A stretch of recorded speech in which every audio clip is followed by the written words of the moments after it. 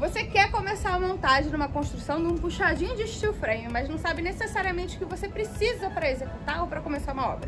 Eu tô com tudo aqui para mostrar que você vai precisar nesse momento. Se você não me conhece, eu sou Helena Rodrigues, conhecida também como Dama do Gesso. Há mais de 15 anos no mercado da construção a seco. Já fiz obras de steel frame em tudo quanto é lugar do Brasil. nesse momento estou em Salvador, né? Sou carioca, mas me mudei para cá, fugi para Bahia. na casa da minha tia, porque nós vamos fazer uma varandinha de steel frame aqui, um puxadinho.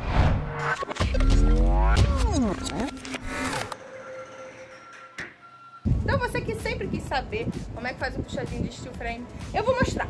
Se você não acompanhou os outros vídeos, recomendo que você volte nesse especial do Construindo em Steel Frame, ok? Para você poder ver certinho, tintim por tintim. Então vamos lá. Primeiro ponto você precisa ter as ferramentas. Que ferramentas a gente vai estar tá usando aqui? A gente vai estar tá usando uma parafusadeira com martelete e até eu vou ver se esse martelete vai conseguir furar esse concreto. Senão a gente vai ter que pegar um martelete potentezão mesmo, aquele pancadão. Mas por enquanto eu vou testar minha parafusadeira que tem martelete também. Vamos ver se dá certo. A gente vai ter uma esmerilhadeira tá certo. Essa aqui eu acabei de comprar da Skill, gente. Vamos ver se é boa, vamos testar. É, essa aqui é nova, comprei na internet, Mercado Livre. Então uma esmerilhadeira, porque a gente vai trabalhar com perfil em vara. A gente não vai trabalhar com perfil engenheirado. A gente tem a chavezinha da esmerilhadeira que você precisa para tirar e botar o disco. Então, gente, isso aqui é fundamental, não pode perder. Os discos. E aqui, ó, que legal. Eu comprei um disco da Bosch, alguns discos da Bosch que são mais caros, mas falam que são muito melhores e rendem mais. E comprei disco também da Norton. E uma dica para você que vai estar tá trabalhando com um steel frame que não é engenheirado, é stick. Compra o disco que vem escrito aqui, ó, aço inox, que é para cortar aço inox. Aqui, ó, também aço inox. Por quê? Esses discos daqui, eles cortam melhor os perfis de steel frame. Porque o perfil de steel frame, ele não é igual os perfis de aço normal, ele costuma ser um aço mais duro, parecido com aço inox. Então, para render melhor, o ideal é você ter o, perfil, o disco de aço inox. Em seguida, o que, que a gente tem? Uma trena. Isso aí, tem uma trena, porque a gente vai ter que tirar medida para cortar as coisas. A gente tem a manta asfáltica que a gente vai usar para fazer a proteção do contato do cimento com o perfil de aço, porque a gente tem que proteger para não dar oxidação para não dar aquela reação química. E lembra, nosso aço galvanizado se isolado, protegido do cimento, não corrói de jeito nenhum. Lembrando, a gente está em Salvador, índice de salinidade é absurdo. Então vocês vão ver. Tá vendo? A gente comprou manta asfáltica autoadesiva, ó. Lado prateado e o outro é preto. Quando a gente estiver instalando, vocês vão ver melhor. Aquele lado com um lado gruda e o outro é prateado. É manta asfáltica normal. Chumbador tipo para bolt a gente pegou aquele com a cabeça fixa, tá vendo? Vem a ruelinha, a jaqueta, que isso aqui é o que abre, é o expansor, e o cone, tá? Essa obra dava pra fazer com um chumbador de 5 16 avos, mas na loja só tinha de 3 oitavos, então a gente usou tinha. É um patucão, né, gente? Isso aqui é um patucão. Pode bater o que for que esse negócio vai ficar. E por último, né, o que a gente tem? A gente tem os nossos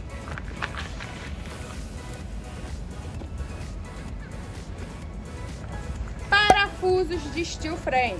A gente vai estar tá usando parafuso 4,8 por 19, ponta broca, com ranhuras atrás da cabeça. Quando eu fui lá na Jeep Center pegar todos os materiais, eu mostrei para você. Além disso, a gente vai tra trabalhando com montantes e guias, que estão ali atrás, daqui a pouco vocês vão ver, que a gente vai estar tá utilizando. Caso fosse perfil engenheirado, seria tudo montante, mas nesse caso a gente vai trabalhar com guia. E muito importante, isso aqui é fundamental você ter para fazer as marcações dos furos, recortes que a gente tem.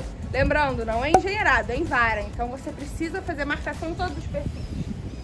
Uma lista de cortes de todos os perfis, que é exatamente essa primeira etapa que a gente vai fazer. Então eu sei né, quantos perfis eu preciso ter, qual o tamanho de cada um deles, tudo isso daqui tem que vir num projetinho que você faz. E essa lista de corte é fundamental para te trazer otimização no material. Por último,